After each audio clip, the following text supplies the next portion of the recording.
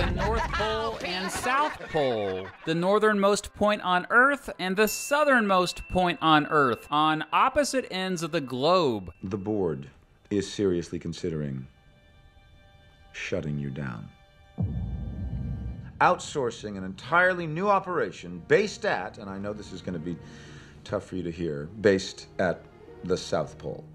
Oh. Both kind of get one really long day each year, with six months of daylight followed by six months of night. So only one sunrise and sunset a year, yo. This is due to the Earth being tilted on its axis. The axis of the Earth is almost always pointing in the same direction in space. However, relative to the Sun, the tilt direction changes as the Earth orbits it. Each pole tilts towards the Sun for half the year and then away from the Sun for the other half of the year. Anyway, this is also why it gets very, very, very freaking cold at both places. However, it gets much, much colder at the South Pole. The lowest temperature ever recorded at the South Pole was negative 82.8 degrees Celsius or negative 117 degrees Fahrenheit, whereas the lowest temperature ever recorded at the North Pole was negative 50 degrees Celsius or negative 58 degrees Fahrenheit. Now, the lowest temperature ever directly recorded at ground level on Earth was negative 89.2 degrees Celsius or negative 128.6 degrees Fahrenheit, and that was at the Vostok Station in Antarctica, which is about 798 miles or 1,284 kilometers from the South Pole. Now, the highest temperature ever recorded at the South Pole was only negative 12.3 degrees Celsius or 10 degrees Fahrenheit. Yep, it never gets anywhere close to above freezing there. The North Pole, on the other hand, once recorded a temperature of 13 degrees Celsius or 55 degrees Fahrenheit. This is why some wildlife has been spotted near the North Pole, but basically only a rare type of bacteria has ever been actively observed at the South Pole, although that has been disputed. Even animals like polar bears and Arctic foxes have been known to wander near the North Pole, and one animal, a type of sea anemone, apparently lives in the water at and around the North Pole. Craziness. This is what the North Pole actually looks like. Uh, yeah, those are people running at the North Pole. There's a North Pole Marathon, apparently, but the North Pole is in the middle of the ocean. And because in recent years it's been getting warmer and warmer up there in the summer, the ice has been melting and you see little areas of just water. Most of the time, however, the ice at the North Pole is around 2 to 3 meters or 6 to 10 feet thick. The depth of the ocean at the North Pole is more than 4,000 meters or 13,123 feet. The South Pole is in the middle of a giant continent, the aforementioned Antarctica. Hey, I'm starting a country there, by the way. Check out this video for more details. But yeah, because the South Pole is on land and sits on a very thick blanket of ice, it's at a much higher elevation,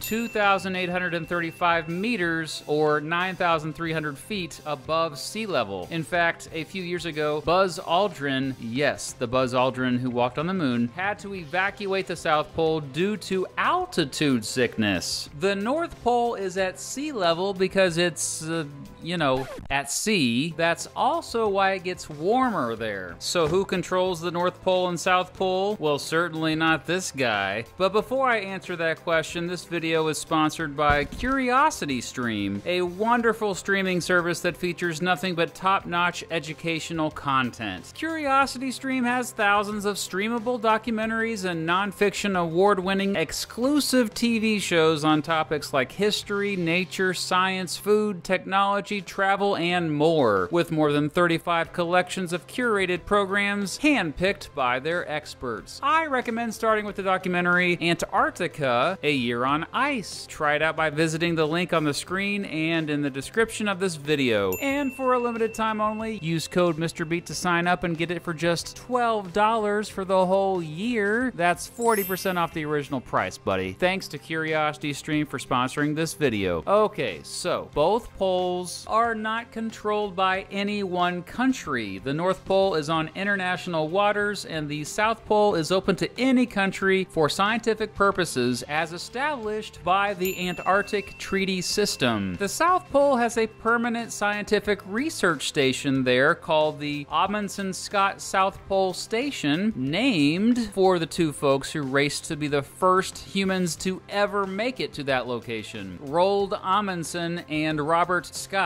The station is permanently inhabited. Yep, even in the very cold, very dark winters, around 45 to 50 people live there. For the logistics of working and living at the Amundsen Scott Station, I highly recommend checking out the Wendover Productions video about it. But yeah, folks conduct many important scientific experiments there. But hey, scientists research the North Pole too. Because of the North Pole being over water, they send out manned drifting research stations. Russia sends one out almost every year, calling them NP stations. Hey, you were thinking in your head just now correctly. The NP stands for North Pole. In recent years, the United States has put up webcams at the North Pole, so that's groovy. Both the North Pole and South Pole are basically deserts, getting very low precipitation. However, the North Pole gets more precipitation. Wait a second. How can an ocean be a desert? Look, a desert just means a part of the Earth that gets low precipitation. The North and South Poles are in polar deserts. Due to harsh conditions, humans only started to attempt to go to both poles beginning in the 1900s. They got to the North Pole before the South Pole.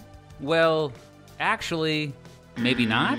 Okay, remember this dude who I mentioned earlier, Roald Amundsen? Well, this freaking guy was the first human being to ever get to the South Pole. Oh, and uh, the first human to ever reach the North Pole. Hold up, say what? Well, let me add a caveat here. Both the American explorer Frederick Cook and American Navy engineer Robert Peary claim to have reached the North Pole before Amundsen, but the evidence is shaky regarding whether or not both actually made it to the North Pole. So yeah, that's why I say Amundsen, along with his American sponsor Lincoln Ellsworth, was the first one who led a consistent, verified, and scientifically persuasive trip there on May 12, 1926, which was 14 and a half years after he first reached the South Pole. Man, Amundsen, way to dominate the poles! But anyway, you might be surprised to hear that lots of people have been to the North Pole and South Pole since then. Though I couldn't find exact numbers on this, according to my own thousands, if not tens of thousands, have been to the South Pole, and likely hundreds of thousands have been to the North Pole. Although I will say it can be hard for people to tell if they're actually at the North Pole or not. Nowadays, people know they are there thanks to GPS, but before GPS, it was difficult since there is no permanent marker since it's all ice, and sometimes it's shifting ice. Oh, okay, so do you want to go to the North Pole?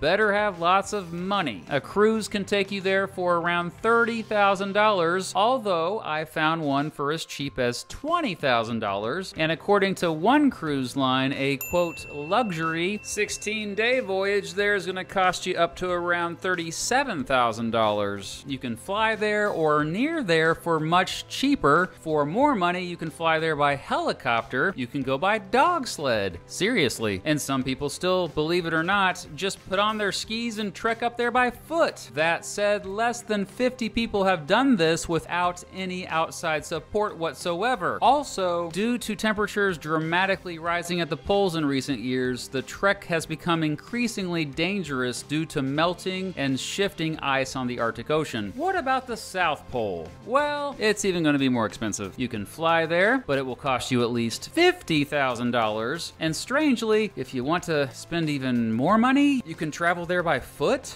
Yeah, here's a dude who apparently paid more than $64,000 to trek there on skis. Dang, people are crazy. But remember, people can actually live at the South Pole. Thousands have actually lived there. 1,604 people have spent entire winters there. One dude has apparently spent 15 winters there. The North Pole is not in a time zone since no one lives there. The South Pole is unofficially in the New Zealand time zone since that's where planes fly in from. But yeah, at the North Pole, it is uh, whatever time you want it to be. Because of the movement of the ice at the South Pole, each year they have to move the mark where it's actually at. This pole here is actually some 300 meters away from the actual South Pole, but it sure does make a great photo op if you can make it there. There are at least six places in the world named North Pole, and I've been to one of them, the one in Alaska. Why is the North Pole a popular place name? Because many believe that Santa Claus lives at the North Pole. I don't know if this is true or not, but wouldn't it be safer for Santa and his elves to move to the South Pole? I'm just saying.